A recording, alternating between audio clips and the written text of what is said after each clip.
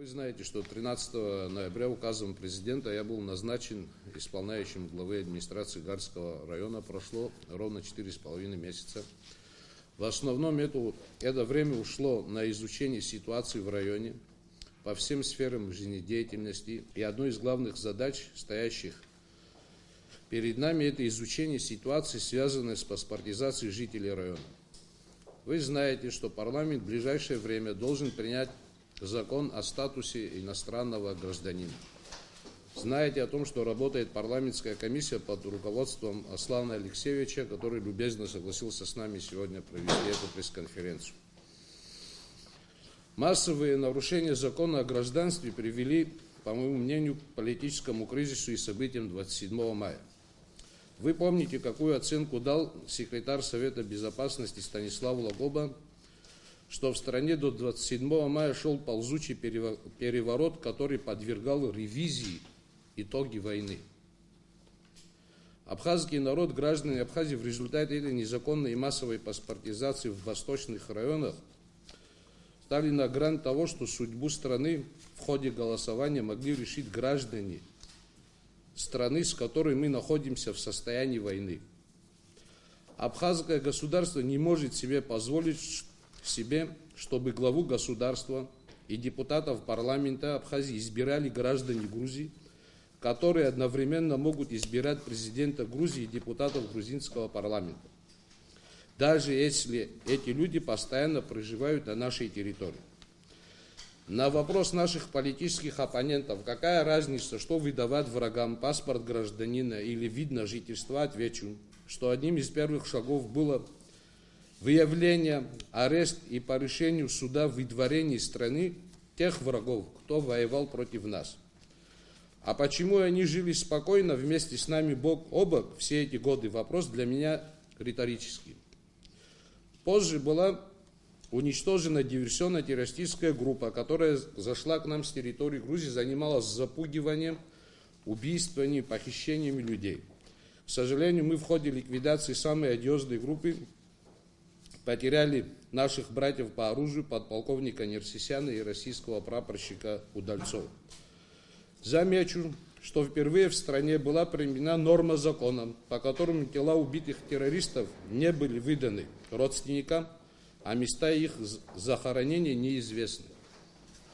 Еще раз хочу спросить, что мешало прежним властям арестовать и судить участников войны против нашего народа в 92-93 годах, когда их имена и местонахождения и ранее были известны.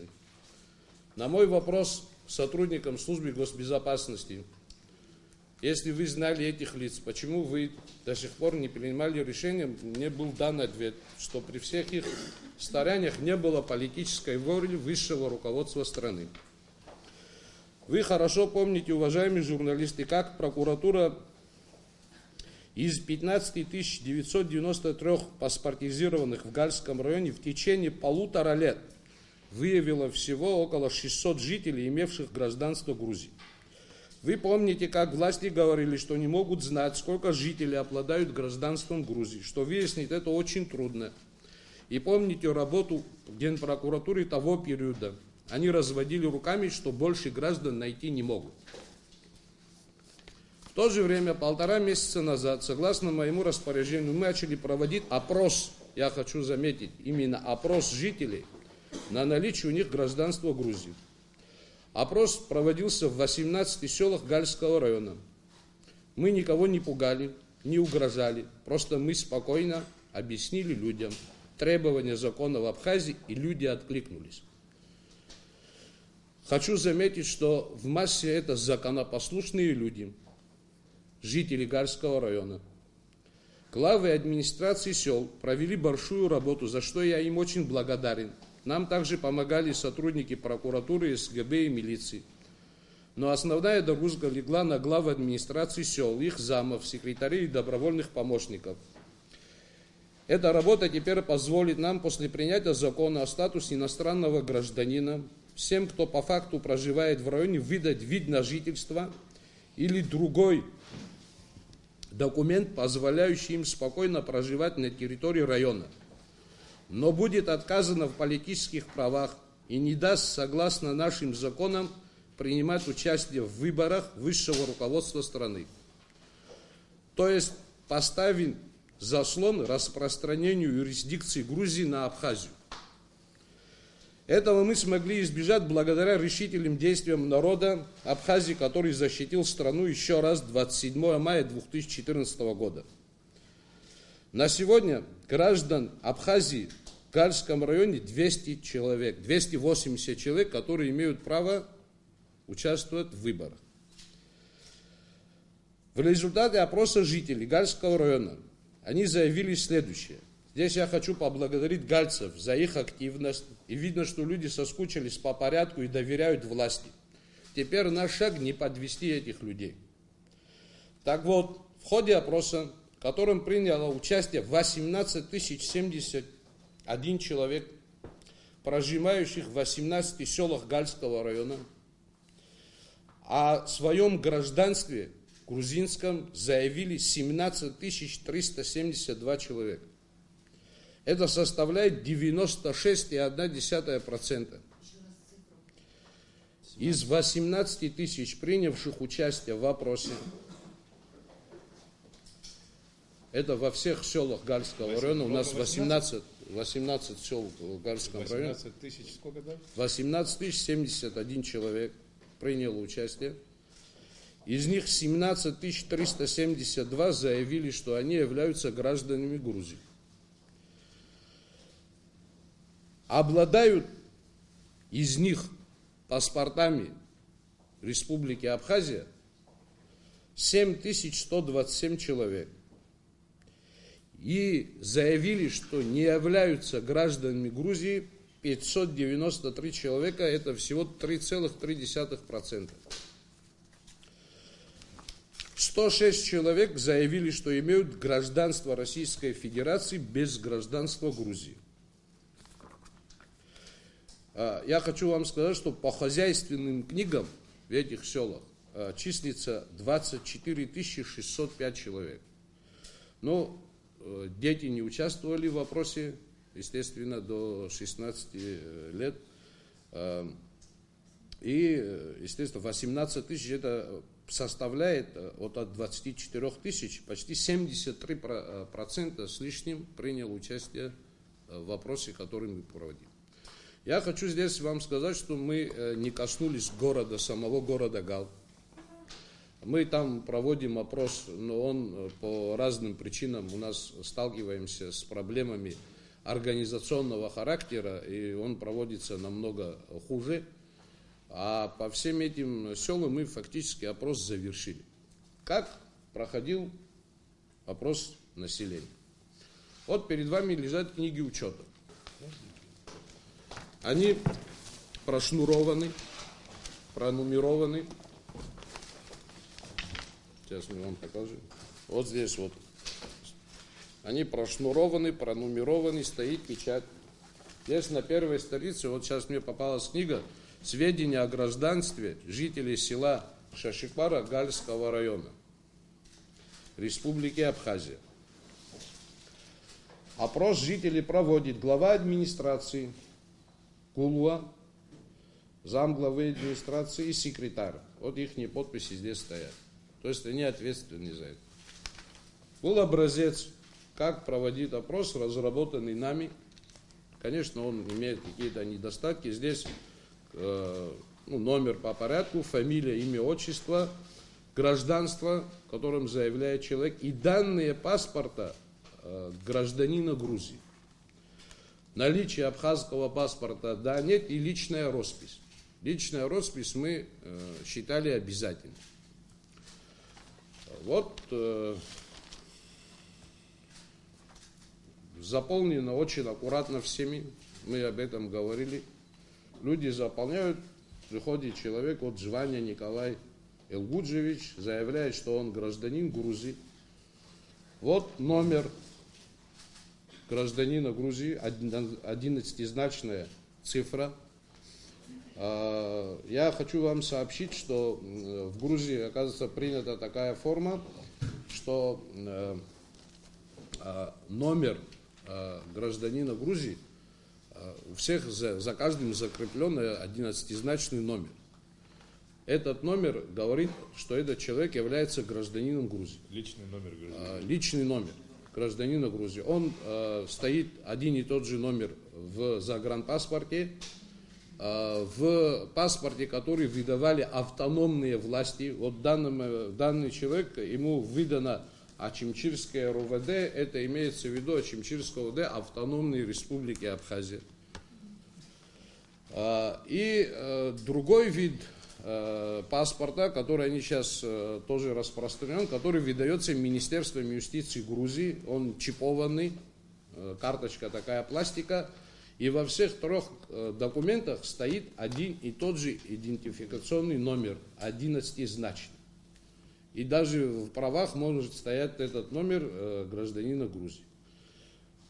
Мы здесь отметили все, кто выдавал этот паспорт, идентификационный номер каждого и каким органом он был выдан. Министерство юстиции, э, Гальское РОВД Автономной Республики, э, Ачимчирское РОВД Автономной Республики, э, они все выдавали эти паспорта. Э, я вам скажу так, на самом деле я не ожидал, что Гальский район и жители Гала так отреагируют на этот опрос. Люди стояли часами в очередях. Людям надоел тот беспредел, который творился. Да, они говорят, мы по разным причинам взяли паспорта Грузии. Кто для того, чтобы получить э, помощь социальную, кто считает себя грузином и гражданином Грузии, я не могу каждому в сердце залезть и вскрыть, но нам, э, нас пугали, если мы говорили, что мы граждане Грузии, у нас отбирали паспорта, их э, рвали, выбрасывали в реку, э, и мы шли дальше, чтобы получить те же пособия, которые дает грузинская сторона, восстанавливали эти паспорта. То есть смысла отбирать эти документы, рвать, выкидывать не было. Но если, говорит, теперь в Абхазии будет закон, по которому мы можем жить на территории Абхазии с видом на жительство или с другим документом, который нам позволит здесь жить, э, растить детей, мы готовы взять и готовы не участвовать в политической жизни. То есть э, люди в первую очередь хотят определенности и э, какого-то покоя в этом деле. Вы могли заметить такую деталь. Вот из 18 тысяч, э, которые прошли опрос, 7 тысяч всего э, тех, которые э, сказали, что имеют паспорт гражданина Абхазии. Это все, 7 тысяч. А на самом деле было выдано почти 16 тысяч. Почему такой маленький процент заявивших о том, что они являют, имеют паспорт абхазский? А маленький процент обусловлен тем, во-первых, мы еще по городу не провели опрос, да? да. Ну, там в городе всего 7 тысяч живет. Даже если все от э, того, кто в люльке лежит и заканчивая стариком, даже все это 7 все равно 2 тысячи остается. Ну, я думаю, что в городе э, около 4-5 тысяч паспортизировано, реально проживающих в городе. Около 4 тысяч не участвовали с этими паспортами, с абхазскими в вопросе, потому что они живут за пределами Абхазии. В Москве основная часть Западной Грузии, которые приходят, приходили, э, они бывшие жители Гальского района, скажем, у него там дом сожжен или что, э, очень много из них раз в месяц приезжают, в сезон орех особенно, собирают с этого участка орех и даже не платят никакие налоги, обратно уходят. И эти наши паспорта ходят по территории Грузии и по территории Российской Федерации. Ну, по нашим оценкам мы не можем это точно сказать, от 4 до 5 тысяч таких паспортов. Что вот эти вот книги есть доказательства о преступлениях, о преступлениях ушедшей власти перед своим народом когда людей можно было спокойно опросить, я же говорю, мы четыре с половиной месяца всего работаем. Мы за полтора месяца провели эту работу. Да, она большая работа. И без всяких проблем люди заявили о своем гражданстве Грузии. Зачем нужно было накалять обстановку? Доводить до того, что секретарь Совбеза покидал свой пост или был, был уволен. Доводить ситуацию до политического кризиса, когда это можно было спокойно за полтора месяца узнать, провести вопрос, людям выдать тот вид на жительство, который они могли получить, или другой такой документ, и согласно закону о гражданстве Республики Абхазия. Значит, по моему мнению, глубокому убеждению, одна из причин это электорат. Послушный электорат, которого можно было напугать и заставить голосовать так, как они хотели. Более глубокие задачи, конечно, можно только, какие стояли, и завтра превратить э, из Абхазию во второе грузинское государство, ну, я думаю, это я отдам экспертам, историкам, которые могут рассуждать на эту тему. В нашей ситуации мы получить 25 тысяч э, жителей Гарского района гражданами э, Абхазии, вы э, понимаете, что это для нас означало. Это означало ревизию итогов войны, как сказал Станислав Засимович, какую оценку он давал. Наши политические оппоненты такие же патриоты, они, увидев эту реальную ситуацию, сделают выводы. У нас Абхазия одна, нам не с кем ее делить, и в вопросах национальной безопасности мы должны быть едины. Не может быть здесь, здесь других толкований.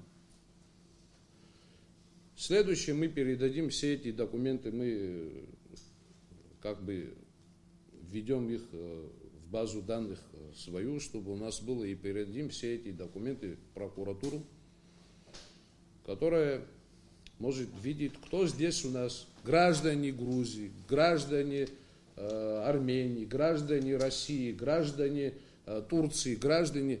Государство должно знать на территории населения, которое проживает, какими паспортами владеет. Вы прекрасно понимаете, какие, например, Россия приняла законы. Она говорит, заявите, пожалуйста, о гражданстве, втором гражданстве, да? То есть мы хотя бы и должны спросить у населения свое, заявите, пожалуйста, о гражданстве. Это не значит, что кого-то отсюда собираются выгонять. Просто государство, где есть порядок, должно знать, какое у него население, сколько у него граждан Грузии, других государств проживают на территории. Согласно закону, вы знаете, что разрешено гражданство только с Российской Федерацией, двойное гражданство. Вот э, это одна часть нашей пресс-конференции.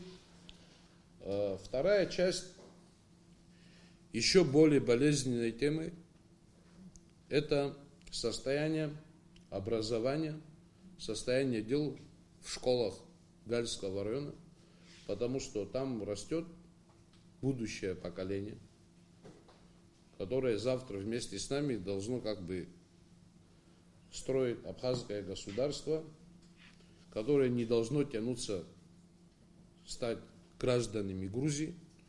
Что мы для этого сделали? Конечно, все вспоминают Азу Авгумава и сколько она труда вложила э, в Гальском районе, э, низкий поклон ее памяти. То, что сегодня мы имеем в городских школах э, и в школах верхней зоны, что там идется обучение абхазского и русского языков, это в основном заслуга ее, ну и тех многих учителей, Э, которые сегодня находятся около 27 учителей, которые преподают в Гальском районе, преподают они из Ачимчиры, из э, других районов Абхазии, из Гудауты, которые приезжают и преподают абхазский язык. Это количество совершенно недостаточно, оно должно быть в несколько раз больше. Они получают всего там от, после этих ставок за то, что они приезжают всего 5 тысяч рублей. Представляете, там Сачимчи из Гудауты каждый день ездить в села, где-то там оставаться и заниматься. Это низкий поклон э, им всем. Но в то же время в 11 школах мы имеем ситуацию, в 11 школах это конкретно, в других тоже там есть проблемы, где обучение проходит всех предметов на грузинском языке. Это и математика, и биология, и история.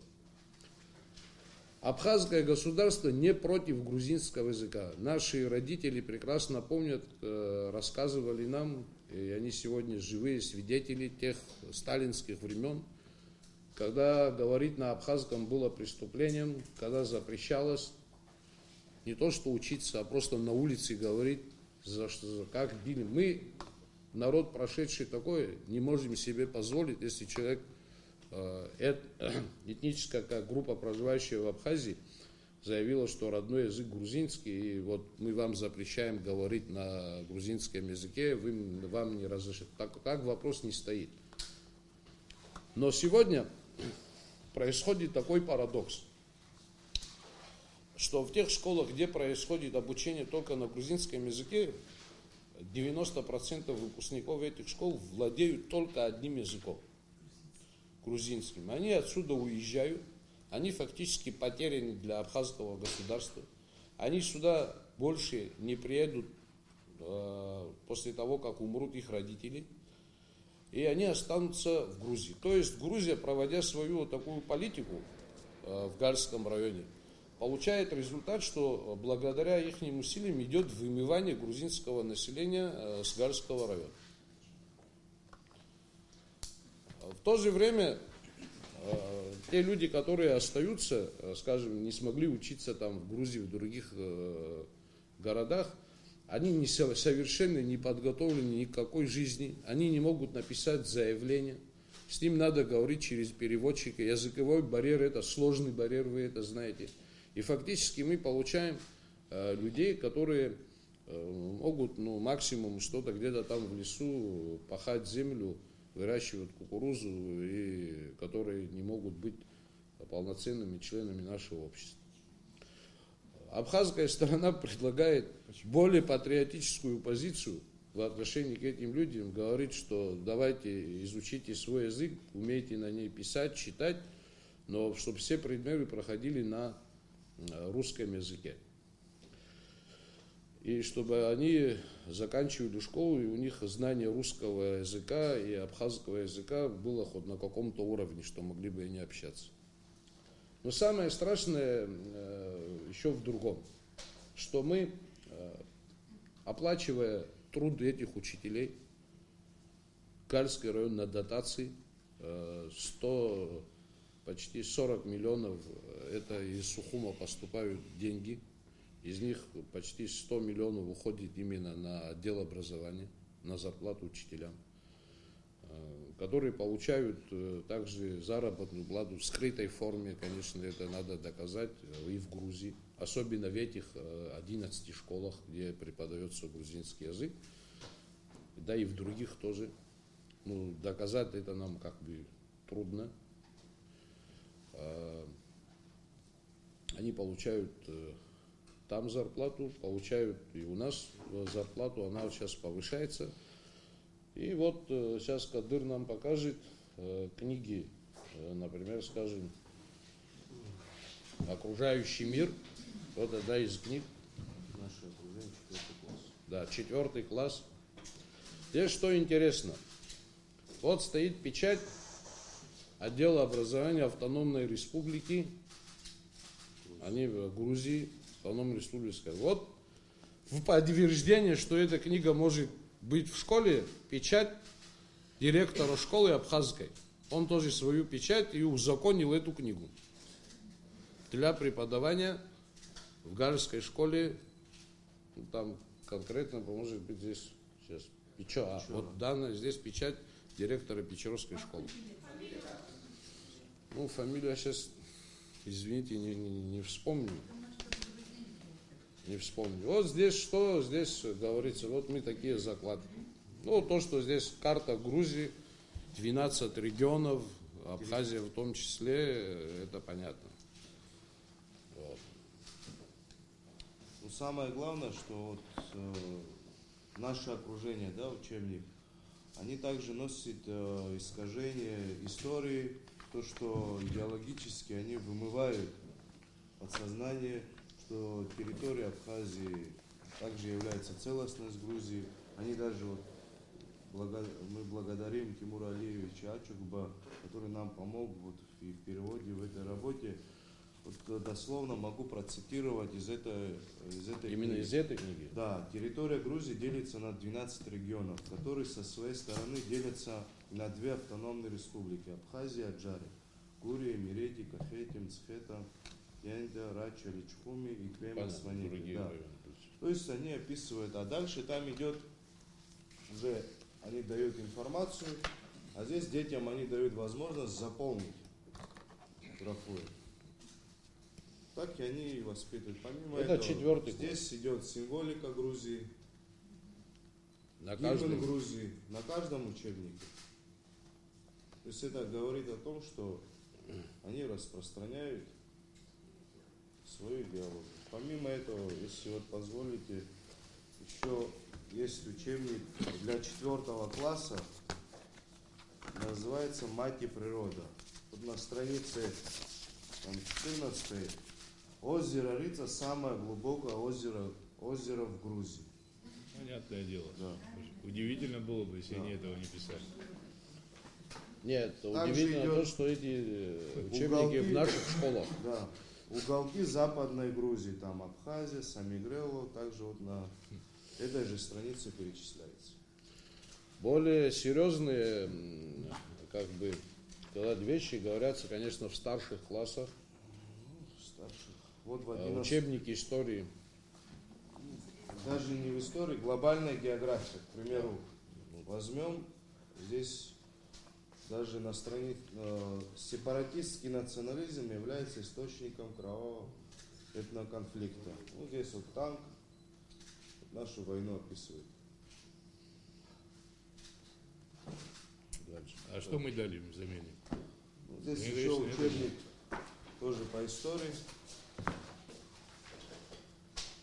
Вы, наверное, все слышали, там медведь разбирает, да, там карту Южной Осетию.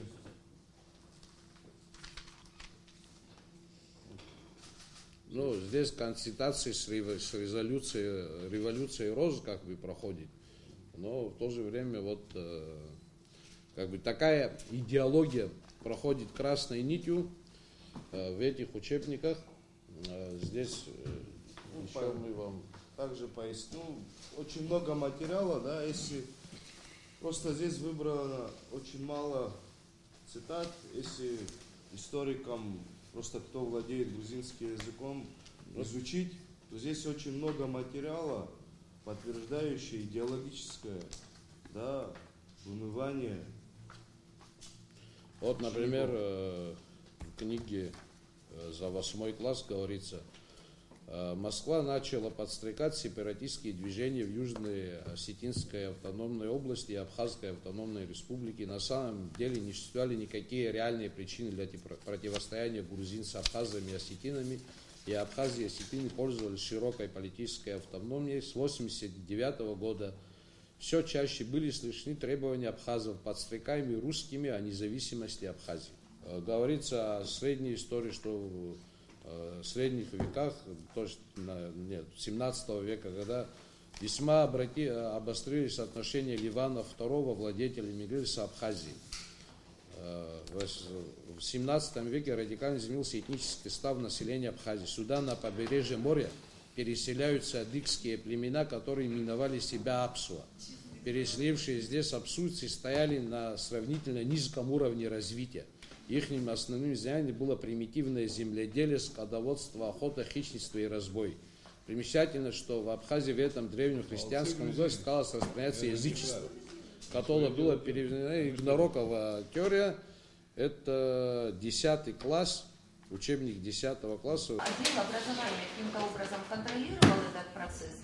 Что они рекомендовали э, для использования эти учебники. Это же должно было согласовываться не только, кстати, с отделом образования, и с Министерством образования должно было согласовываться. Вы понимаете, когда я разговаривал с отделом образования, сотрудник отдела образования Черказия сказала, что она все эти книги брала в сумку, приносила министру образования Варда, я так говорил, это не ваше дело, занимайтесь своими делами, да. Я не знаю, она это публично заявит или нет, но в кабинете моем она заявила.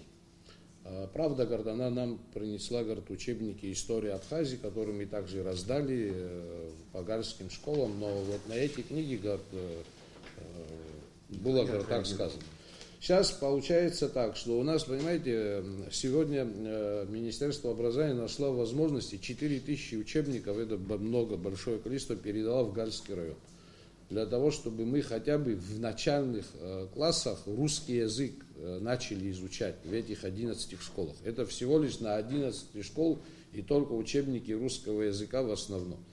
Других учебников у нас нету, э, чтобы они обучались, скажем, с первого класса. Ну, теперь представьте себе, хорошо, мы все эти книги эти взяли, вот сейчас в восьмом классе, и, и дали книги на русском языке людям, которые ни слова не знают по-русски. Ну, ну вот, ну, ну дали. Ну, значит, лучше закрыть школу. То есть мы сейчас должны Э, сделать все для того, чтобы дети, которые в третьем, во втором, пока еще не поздно, чтобы они нач перешли на обучение э, по программе Министерства образования Абхазии, а те, которые учатся по методике Министерства образования Грузии, они уже должны э, ну, докончить. Я сейчас приду и изыму учебники. У меня, во-первых, учебника нету, который я ему должен дать. Я не, я не имею этого учебника.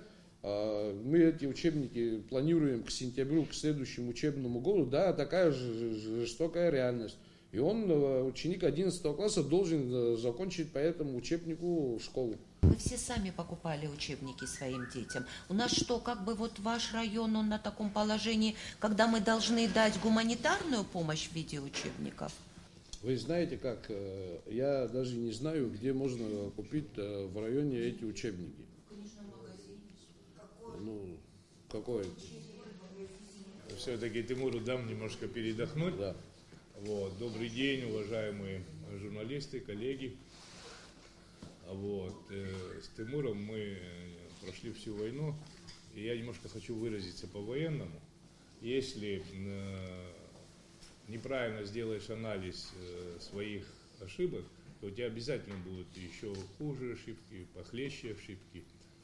А, я убежден, здесь сидит Станислав Засимович Челакова, тот анализ, который он сделал тогда, когда он пришел в парламент, он был точен, объективен, и действительно это соответствовало действительности. И многие депутаты тогда с этим согласились, не многие, а вообще весь депутатский корпус с этим согласился, он был настолько убедителен, Э, все постановления, которые мы принимали по Гальскому району, Клачарскому и Чевчирскому, связанные с незаконной выдачей паспортов, был един. И по сей день он остается, в парламент остается на своих позициях. Четкие э, документы были изданы. Согласно этих э, по постановлению парламента были и проведены выборы. И, наконец-то, мы за последние годы впервые граждане Абхазии определили Э, кому быть президентом Абхазии. Надо вещи называть своими именами.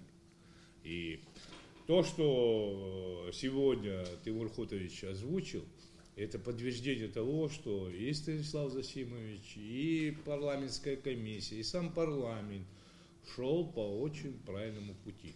Другой путь, он был просто пагубный для нашего государства. Вы понимаете о том, что впервые э, жители Гальского района – Э, почувствовали, что с ними начинают говорить. Э, не, не палками за ними гоняются или со стволом, а с ними их посадили, с ними начали говорить. Они им разъяснили, что правда ничего не грозит для них. Вот. И вот то, что мы имеем. Это подтверждение того, что мы изучали, тогда тоже мы, комиссия не, не, никак э, не действовала по отношению к населению агрессивно. Есть грузины, есть граждане Грузии, не надо с ними Кстати, между прочим, есть очень много, к большому сожалению, абхазцев тоже, которые являются гражданами Грузии, которые бегают туда, э, черт знает, чем они там занимаются. Это вот наша служба государственной безопасности, Министерство внутренних сил все эти годы ничего они не видели, а пришел Надарая, обычный патриот этой страны, за четыре с половиной месяца, вот вам, понимаете, опросил, успокоил население, сказал, почистил город, сказал, давайте жить вместе. Ну давайте честно жить, не, понимаешь, путем обмана. И вот вам результат, чего мы имеем. И опять, может, сегодня найдутся опять а, оппоненты, которые будут говорить что-то не то. Ребят, мы должны говорить правду. Паспортизация это, это основная э, часть нашей безопасности. Если мы свои паспорта будем отдавать, раздавать не гражданам Абхазии, мы лопнем. Вот я вчера, позавчера видел в интернете, поймали очередного вора какого-то, понимаете, с абхазской, по фамилии Булискерия, с Гальского района, с абхазской фамилией паспорт у нас, наш, у него на руках. Это левый или правый, или настоящий паспорт, это еще будет Министерство внутренних дел разбираться. Где только не гуляют наши паспорта. Кому только мы не раздавали. Вот этого всего, что он делал, это должны были делать спецслужбы наши. Спецслужбы. Тогда не надо было ни Станиславу Засимовичу, не надо было, понимаете, просто завопить на всю страну, спасайте Родину. И не нам, парламентской комиссии, тем более этим не надо было заниматься. Что самое удивительное, слушайте, что нашим паспорта раздавали гражданам Грузии, что наши паспорта продавали. Весь народ это знал, только не знал политическое руководство. Только это делали в невидении. Ну, понимаете, до такого сумасшествия мы дошли. Большому сожалению, очень медленно до многих это доходит. Я надеюсь, что уже э, деваться уже некуда. И э, долго я ваше внимание не буду занимать по тому, что сказали вот мои друзья по учебникам. Молодцы грузины. Молодцы. Им 5 с плюсом ставить надо. Вот как надо работать. А что мы от того, что Тимур Надараев возьмет у них вот эту книжку и сожгет, и что из этого получится? Тратиться надо. На эмоциях ничего не сделаешь никогда. Мы что делали? Та власть брали, у кого увидели этот грузинский паспорт, рвали, выбрасывали, не через речку перешли, выписали новый паспорт. Вот это решение вопроса. Вот здесь, а какое решение вопроса? Вот как его решить? Это силами главы района или Министерства образования это не решится, ребята. Это головная боль политического руководства Абхазии. Это враг открытым текстом действует на нашей территории. Это, опять-таки, его очередной, Почему это скрывалось? еще раз говорю, его очередной плюс, что он это показывает всему населению. Ребята, это проблема у нас, это беда. Я просто как гражданин и далеко не специалист в области образования скажу, просто одну такую крамольную вещь, у меня всегда в голове крутится, я это сегодня публично озвучу.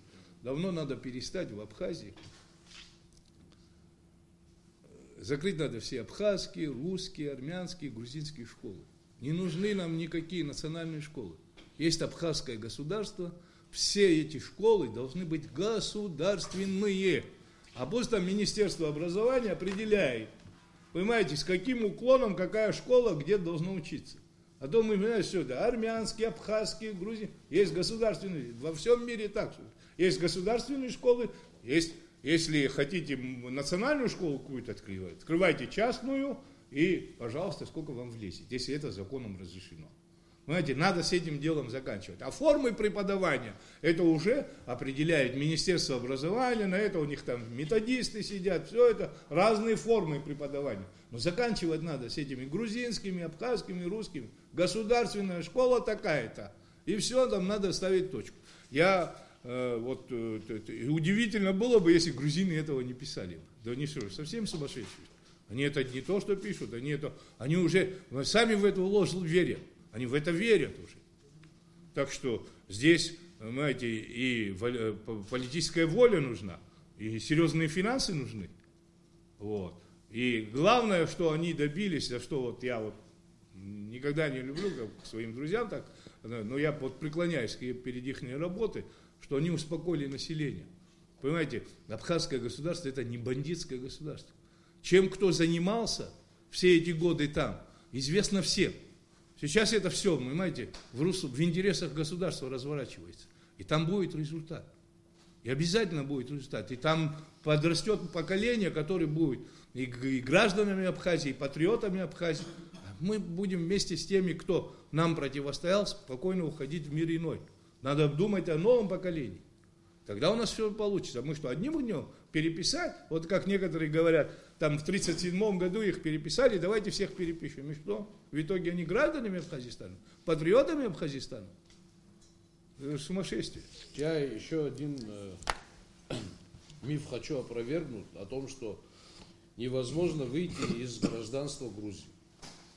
Вот, э, ну, есть такое, как они, это нельзя, это не, вот, есть, пожалуйста, здесь, вот, э, жительница Гальского района, Кардава, вышла из гражданства Грузии, из гражданства Грузии, вот указом президента, переведенный на русский язык. Министерство юстиции. Это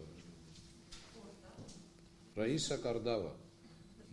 Она отказывалась от гражданства Грузии в пользу российского гражданства, подала письмо и в течение восьми месяцев получила э, вот эту бумагу.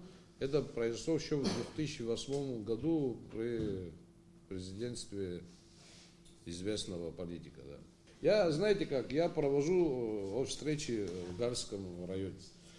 А, Люди на самом деле, а, понимаете, мне их вот как бы с одной стороны очень жалко. Они оказались э, на, на- на таком распутье. С той стороны давит на них Грузия, которая говорит, вы все, вы грузины, вы живете в Грузии и так далее и тому подобное. А, И э, люди хотят, вот э, во многих, почти в каждом селе, когда встречи проводились, вставали люди и говорили, мы хотим отказаться от гражданства Грузии, не хотим вообще туда ездить. Можем ли мы получить потом абхазское гражданство, если мы вот такой документ принесем? Я говорю о том, что, конечно, если человек, житель наш, который имеет вид на жительство, отказывается от гражданства Грузии, у него дорога открывается получить гражданство Абхазии. Но это решение будет приниматься согласно законам Абхазии.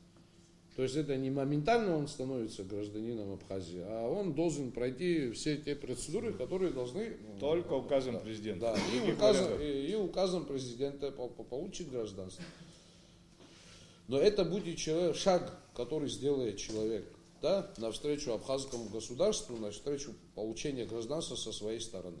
Есть люди, говорят, они, э, вот 563 человека, же тоже, э, что, мы должны их вычеркнуть, что ли?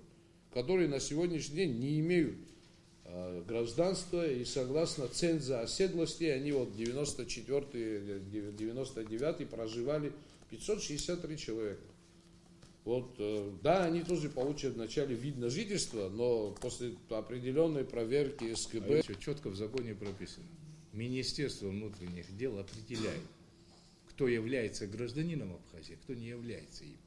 Есть одна структура, где четко прописано в законе, никакие другие. Если вот согласно сейчас замены паспортов, Министерство внутренних дел установит, что данный житель действительно является нашим гражданином, никаких проблем не будет ему выдать этот паспорт. Вид на жительство является стартовой площадкой для того, чтобы стать гражданином Абхазии. Может стать, но может никогда не стать. Вид на жительство даст им возможность наводить порядок в стране, в, районе, вернее. Знаете, малейшее нарушение нашего законодательства и вот эти незаконные действия, когда это все будет незаконно, даже любого просто выдворить можно с территории Абхазии без права никогда потом больше сюда появляться. Видно жительство, это знаете, как висишь на волосинке. Знаешь, нарушение законов ты никогда не в выдворение из страны получится моментально. Это во всех странах мира, это мировая практика.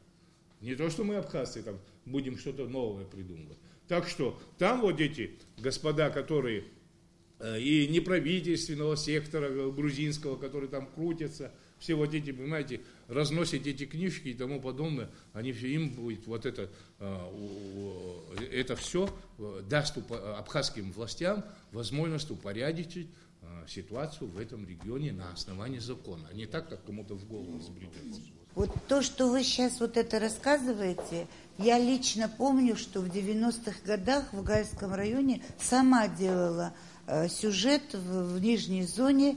Там как раз фраза такая мне перевели – Абхазия является самым красивым уголком Грузии. Была такая фраза, помнишь, Роберт, мы с тобой были. Вот, и я хочу сказать, что с тех пор вот это тянется, это не вчера началось. Но, с другой стороны, вы говорите, что нам прислали книги там э, по, на рус, э, по русскому языку. Ведь с первого по четвертый класс у нас, например, обучение в абхазских школах проходит на абхазском языке. Вот это, что книгу вы показывали на грузинском «Окружающая среда, окружающий мир», у нас есть прекрасная книга на абхазском языке, у нас дети учатся на этом языке. Почему же в этих начальных классах не начать обучать? Они все равно ни одного языка не знают. Они ни русского не знают, ни абхазского не знают. А почему же не начать с первого по четвертый класс обучение на абхазском языке. У вас вообще такая идея возникала, вот я хочу Возникала, и проблема в том, что у нас э, катастрофически не хватает преподавателей абхазского языка. Ну, понимаете, это надо заложить бюджет, это надо создать программу. От того, что вы это здесь сказали, и весь мир это услышал, ничего не будет. Потому что это было 20 лет. Потому что мы не имеем учебник, мы не хотим не вкладываться, мы ни копейки в образование вложить не хотим. Это мы просто, извините меня, скупердяи. А скупердяи платят дважды. А в данном случае платят своей родиной. Потому что если бы тогда мы бы положили эти деньги, сегодня мы это имели. А сейчас что? Мы настолько бедные, что мы не можем столько-то экземпляров книг выпустить и чтобы туда послать? Мы все книги к первому сентября по этим э, начальным классам в нижней зоне, мы все книги э, к бизнесу задача стоит найти и обеспечить по всем предметам начальных классов. Русские. Русские, абхазские, русские, все вот э, по русскому и абхазскому языку, все по всем школам. Там, где у нас будет преподаватель абхазского языка и будет уровень такой, мы начнем, как вы сказали, абхазский язык. Там, где у нас не будет, будет преподаватель русского. То есть это вы, мы вместе должны работать. Это огромная работа предстоит. Для начальных классов там и на абхазском языке вот то, что 4000 учебников обеспечило Министерство образования. Помимо этого, к сентябрю администрация берет на себя обязательство, что всем 11 э, школам обеспечить учебниками. Все, что в Гайском э, районе происходит, это национальная безопасность нашей страны. Знаете, если мы будем учителю 5 тысяч платить, а работнику службы государственной безопасности 50 тысяч, то мы будем иметь ту ситуацию, которую мы имеем всегда здесь. Знаете, надо понимать, знаете, на патриотизме, да, да непатриотичных людей вообще близко к Галу подпускать нельзя. Вот мы, знаете, вот, но на одном патриотизме далеко не уедешь. Человек потихонечку превратится в коррупционера по одной простой причине. Жить-то надо. И это надо понимать. И если мы, учителя, мы говорим, учи, катастрофически не хватает учителей абхазского языка. Да с такой зарплатой он всегда будет не хватать. Надо понимать о том, что если мы туда посылаем абхазов, а тем более туда надо подбирать мужчину, женщину ты не пошлешь. Вот, еще. Там уже, понимаете, там немножко другие формы, методы работы должны быть. И особенно соответствующая заработная плата. Если мы этого не хотим делать или не можем делать, тогда мы должны об этом открыто сказать. И силами Гальского района, опять-таки, ни один серьезный вопрос, стратегический вопрос, не решится. Это силами политического руководства страны. Других вариантов нет. Мы говорили с министром образования, а вот вместо, скажем, начальной военной подготовки открыть дополнительно э, там э, зам директора школы по пропаганде абхазского языка, скажем. Или учитель абхазского языка поднять его уровень до завуча школы или там уровня заместителя директора школы, который мог бы проводить пропаганду там, абхазского, русского языка в этих школах. Э, то есть э, Министерство образования с интересом писало официальное письмо, они должны на своей коллегии обсудить эти вопросы и как-то дать ответ. Работа в этом плане ведется.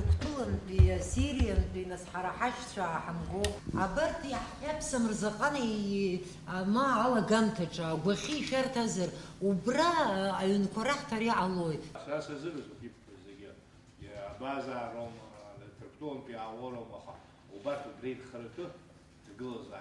Цветок амч. У меня вопрос, сколько сегодня всего в Гальском районе проживает граждан Абхазии и не граждан Абхазии общего? Можете сказать? В Гальском рай- районе имеют гражданство Абхазии 280 человек. А 14 тысяч обладают э, паспортами. Ну, 15, 16 там минус 600, ну, это по- ну, 14 с половиной тысяч обладают паспортами Абхазии, но гражданство у них э, по ним аннулировано.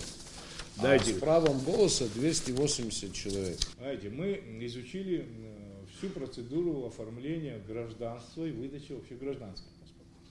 И вот пункт, который первый пункт постановления парламента, по которому сегодня дано паспорта гражданина Республики Абхазия, выданные с рекомендациями комиссии, созданные в нарушение закона Республики Абхазия о гражданстве Республики Абхазия в Гальском, Ачимчирском, Ткварчарском районах считаются выданными с нарушением установленных процедур и не могут подтвердить гражданство Республики Абхазия.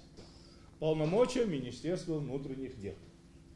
Министерство внутренних дел Республики Абхазия осуществляет следующие полномочия. Определяет наличие гражданства Республики Абхазия у лиц, проживающих на территории Республики Абхазия. Только Министерство внутренних дел и только этот орган может определить, является данный житель гражданином или не гражданином.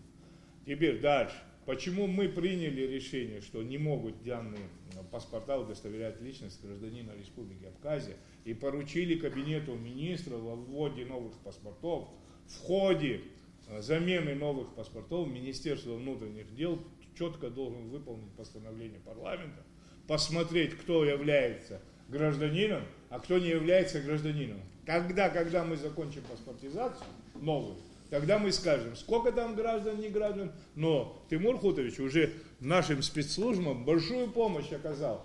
Вот. При всем моем уважении, это всего лишь помощь.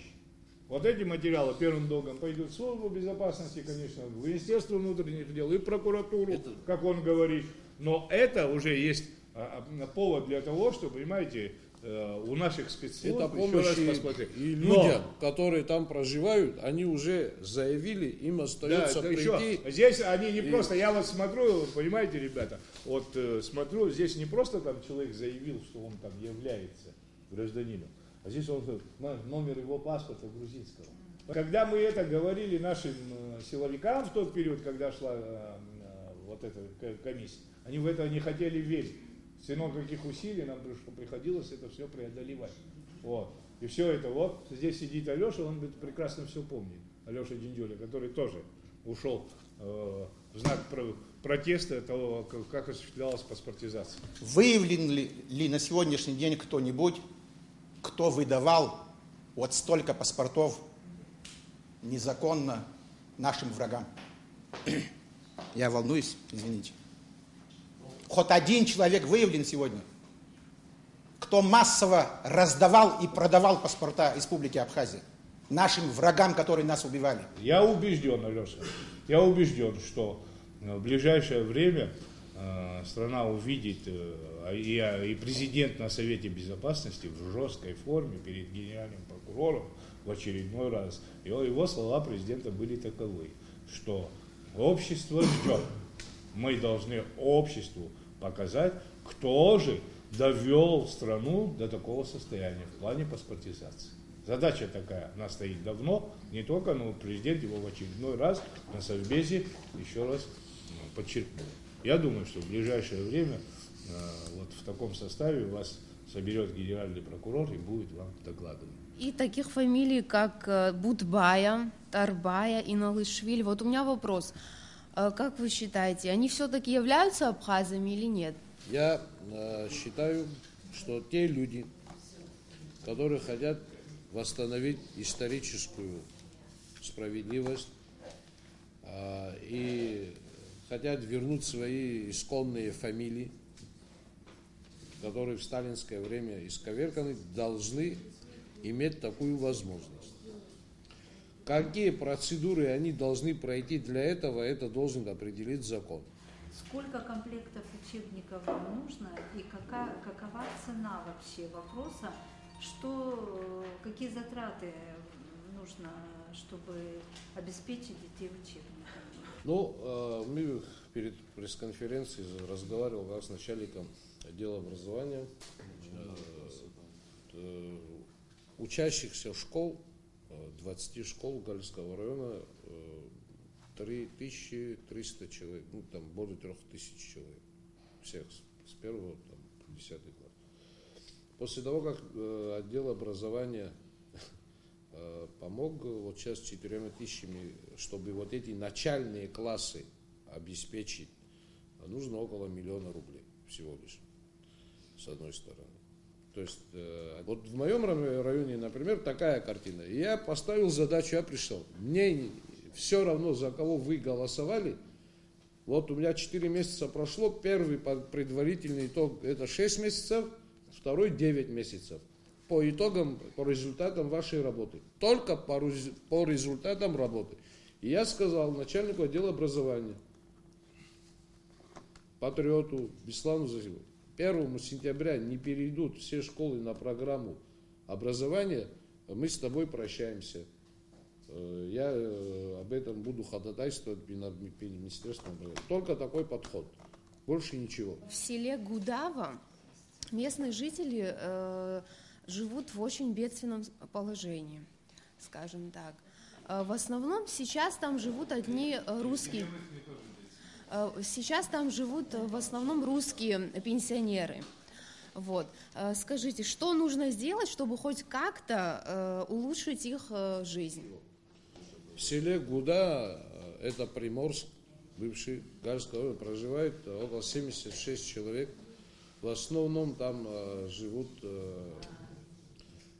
ну, как бы сказать, э, да, по национальному составу мигрел грузин больше, но много русских, э, около 15 человек. И на самом деле, не без разницы, все они э, в бедственном положении, вплоть до того, что я министру по чрезвычайным ситуациям писал письмо, и его обращал внимание, он 60 одеял нам привез, в район, чтобы там э, с электричеством. Мы, я все международные организации, которые в Гальском районе, э, у ВКБ, всех нацелил, э, попросил именно, они там разрабатывают программу. А дорога даже туда добраться, это, знаете, на какой-то машине, которая, потому что даже УАЗик, который так такие ямы, когда она заезжает в эту яму, там до, до, до лобового стекла машина заезжает. То есть доехать туда. Мы какими-то своими силами что-то засыпали. Вот сейчас дорожный фонд из тех наших средств, что 2 миллиона, мы миллион, э, вот сейчас буквально позавчера я подписывал документы, э, миллион сто тысяч отправляем на том, чтобы своими силами хотя бы привести эту дорогу. Я вызвал э, главврача района и поставил два месяца назад, ну сейчас чуть-чуть теплее как бы становится уже, задачу, чтобы он туда каждый, каждую неделю два раза вызывают ли они, не вызывают.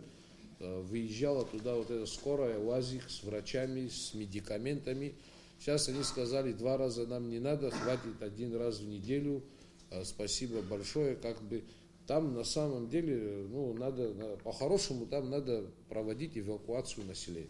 Но э, люди не, не хотят многие покидать свои дома ну, понимаете, да, они там живут, вот э, стараемся там э, как-то вот еще постараемся продукты какие-то им доставить. Я э, выделил э, там несколько сот литров соляры для того, чтобы им спахали землю, назначили нового главу администрации туда, более энергичного молодого парня, Кутеля, Эмзар. И как бы у нас, и мы попросили, и вот вчера мы представителям ВКБ работали, говорили там, что они вот предоставили программу помощи э, по международной линии этому всего. На самом деле там вот репортажи Рои Ног, а, Агрба, которые он проводит, там прямо в каждом доме. можно подряд, постаревшие люди, которым за 70 друг за другом ухаживают, друг, молодых вообще почти не осталось никого, ну нету никого. Гальский район был одним из самых богатых в свое время. Сегодня он находится на дотации, но всем прекрасно известно, что эти плантации, эти совхозы никуда не делись. Вопрос, куда делись деньги, если все это существует? На самом деле у меня сложилась неплохая команда в Гальском районе. Я благодарен всем своим заместителям, тем главам администрации, молодым ребятам, которые приехали из Сухума вместе со мной. Наш десант почти 16 человек. Это немало. А, и мы, естественно, ведем работу по возрождению экономическому возрождению района, как мы смотрим. Вот того, что вы коснулись, где богатство Гальского района. Богатство Гальского района растащены, разворованы, как самими жителями недобросовестными, которые там есть, так и э, властями или руководством э, недобросовестными директорами совхозов, которые там были после войны. Вы говорите, э, вот один из больших совхозов, совхоз Цитрус, совхоз Махунджия, который давал до войны 16 тысяч тонн мандарин. А, там было сотни тысяч корней этих, этих цитрусовых.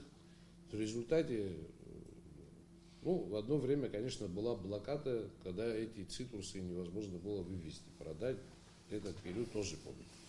После этого в результате вот нашего хозяйственного мы довели до того, что сегодня осталось там всего 40 тысяч корней, и в этом году около 300 тонн мандарин собрали. Но самое интересное, что эти люди платят всего 240 тысяч рублей земельный налог, и фактически больше ни рубля государства Гальской района это государственный, государственный совхоз. Часть из него передана в аренду частным лицам, часть находится в непонятном статусе, понимаете. Более того, нам недавно попался документ, в котором мы увидели, что там э, были, оказывается, заложены еще э, самая популярная культура, вы знаете, это орех в Гальском районе.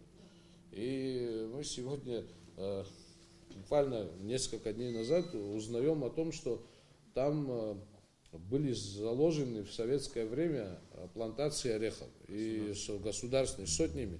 Сегодня ни одной официально в управлении сельского хозяйства не числится э, ни, никакого ореха. Вдруг в селе Нижний Баргепи узнаем, что 45 гектаров ореха, э, плантации ореховых, оказались э, неучтенные, за них никто не платил налоги. Э, за них никто не платил налоги. Когда мы пришли, э, главу администрации спросили, она говорит, э, после инвентаризации приезжали люди с администрации руководства и сказала, что это к вам не имеет отношения к всего, это имеет отношение к лесхозу. Мы взяли бухгалтерию лесхоза, баланс, ни одного гектара там не числится ореха. Теперь мы начали тех, кто смотрит за ним, вызывать те начали от нас прятаться. Позавчера мы позвонили сотрудникам гос... службы госбезопасности, прокуратуры.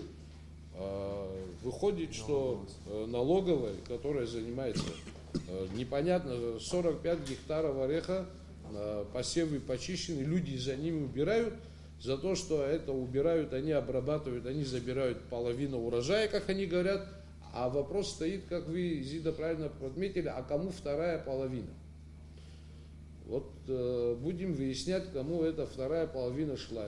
Государству оно не шло, ни, нигде нету ни одной строки. Э, вот э, будут заниматься.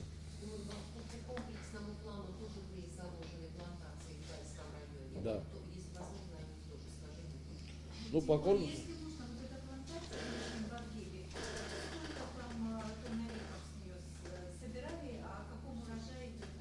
Ну, с 45 гектаров это минимум 45 тонн ореха.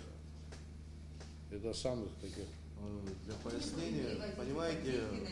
Если это в деньги перевести по нынешним ценам, это больше 12 миллионов. Ну, по нынешним. А Правда, бюджет таких района? Бюджет района всего 30 миллионов. 12 миллионов рублей. То есть одна плантация? Одна плантация полностью, ну, ты понимаете, там в нее вкладывали люди, как бы, если даже Ну, это, скажем, если это половина людей, которые там вкладывались, забирали, ну, 6 миллионов. Потому что сегодня цена ореха возросла почти в 4-5 раз. Да. Ну, По раньше- комплексному плану, что Изида говорила. по комплексному плану, вот э, там э, хлебзавод был отремонтирован. Вот вы справку, Только про ремонтные работы говорю, можно и про них тоже сказать. Я говорю о плантациях, которые при заводе. Плантации, которые были заложены в Гальском районе, э, ну, ситуация такая, что где-то было заложено больше 100 гектаров ореха, половина из этого ореха просто сгнила, высохла. А кому они принадлежат? Они до сих пор официально приезжают на научно-исследовательском институте НИИ, э, э, Айба. А Они написали мне письмо, расторгнуть с ними договор.